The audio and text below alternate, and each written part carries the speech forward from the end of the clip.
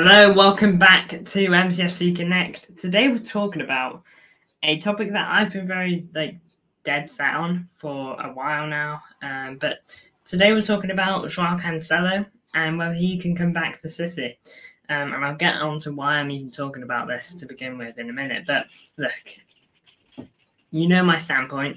My standpoint has always been, um, you know, if you bring back bad atmosphere to the dressing room, you think you, if you think you're bigger than the club, then there's no place for you on this team, really. And so, you know, there is no place for you if you're just going to drag everyone down um, mentally.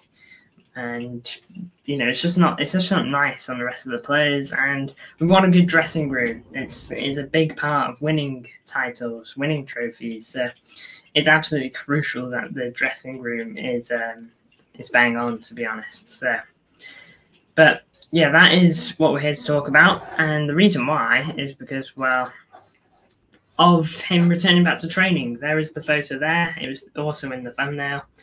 Um, but he was he's been in training for City for at least the first session back. There he is. Now then he's by no means smiling like everyone else, but maybe maybe just trying to look cool for the camera. Um, but it's interesting to see him back in training, and considering he wasn't here during the entirety of preseason, although that was partly probably because I'm pretty sure he went to the Euros. So um, that is the big thing here. Now then, Joao Cancelo's transfer case has been quiet all summer. Last summer, I'm pretty sure it did take a while as well for Joao to get off. But we at least knew something was going on it was pretty certain that Joao was going to be going to Barcelona last summer. Um, it was floating around. But Barcelona this summer either can't afford him or can't or just not interested in him. I'm pretty sure they are interested in him, um, but there's been nothing in terms of um, trying to bring Joao Cancelo back to Barcelona this summer. There's been absolutely nothing. And so that's why I speak about a possibility of whether he can, whether he can actually return to the squad. Because, like Joao Cancelo, he's going to be training. If we decide to keep him, then he's going to be training and doing nothing if we don't allow him fully back into the side. Now, then, the only way he gets back into the team is if him and Pep, and if he's got any problems with anyone else, if they clear up that entire situation and they wipe that under the rug. That is the only way um, this this even happens, if this even gets entertained. Now, I'm pretty sure conversations were had last summer, before last season, and um, I'm pretty sure that um, they weren't the best talks. I'm pretty sure they ended not heated, but just not well, um, not in the greatest way ever. So that is the um, that was the situation last summer, and I'm, pre- I'm pretty sure we all thought he was going to leave. City were trying to look for a fee for him. Uh, Barcelona they could only get in a um, a, a loan deal, not even with an option to buy. And this summer they've just signed Dani Olmo for about sixty million um, ish. So you know that could be the whole transfer fund for all we know. We know Barcelona's budget isn't exactly um, plentiful, but here, I'm going to talk about something. Um, let's say Joao Cancelo, let's say it does get wiped under the rug. Now, then it will then go into public domains. I know a lot of City fans aren't happy with him. I'm not happy with him. The whole thing two years ago, or whenever it was, should never have happened. Uh, actually, no, not even two years ago, year and a half.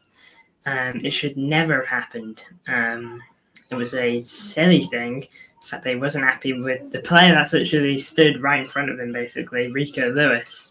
Uh, kneeled right in front of him um, Rico Lewis was getting game time over him. Rico Lewis got a lot of play time that's probably unexpected last season. Um, no, in the treble season for City. You know, a lot of people probably didn't expect him to get a lot of the game time that he did, but he ended up being really helpful at times for City. Helped us discover a, another way of playing, which was um, the inverted fullbacks drifting into midfield. He was a real big um, player in helping us get into that because it's what he'd been trained to do, and Pep really could get into his head. But it doesn't look like Joao Cancelo was able to get his head around it because, well, he didn't play um, during that time. That's the whole reason he didn't play.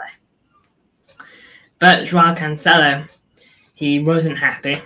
Um, something went down on a, on the training um, the training pitch for City.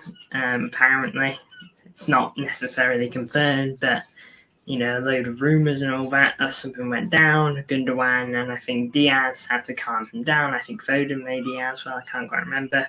Something went down between him and Pep, and it ended with him going off to Barcelona on deadline day. Um, came back in the summer and eventually dipped off to Barca. We've had nothing this summer there. And so I want to speak about the potential case of if Joao Cancelo does stay and if he does get integrated back into the team. Now then, a, a concern I've had this summer, I wanted like I wanted to see three signings from City this summer. One of them we got, which was um, Savinho. Going into the summer, by the way. I wanted a Rodri backup, and I wanted something to back up Kyle Walker. I'm not looking for Frimpong or anything like that, although Frimpong, very nice pick. Not necessarily Frimpong, just something to give Kyle Walker a bit of backup. Kyle Walker's 34, pretty sure he's the oldest in the squad, bar um, Scott Carson. And he's his the one thing that he's great at, Kyle Walker, is his pace. The moment those legs go, on Kyle Walker, and he can't do that with those runs anymore. Kyle Walker suddenly becomes not redundant, but his main utility is gone. You know, Kyle Walker even said in an interview um, a while ago, like a year or so ago, you know, he said like he thinks all the boys in the City squad have got some sort of superpower, essentially. Phil Foden, I'm pretty sure he said like his dribbling and going in between the lines, KDB, uh, his vision to see it pass, and Rodri just his passing on a hold, And he said his superpower is pace. Okay. If he loses his pace, he suddenly lost his superpower, and he's lost what makes him, what makes him so super in this team when we need him. That person that's always been known to be able to lock down Vinny Jr. and even Kylian Mbappe at times, um, suddenly gone. That that power he once had, nothing more. And then you've got Joao Cancelo back way. Is no means Kyle Walker levels of pace, but he is pretty pacey, and he does offer, I feel, a bit more on the attack. I've always been very iffy with Kyle Walker going on the attack. Sometimes it works, sometimes it doesn't. And but with Joao Cancelo, now it doesn't work every time, but it does work a fair bit. Now Joao Cancelo on defence is another story.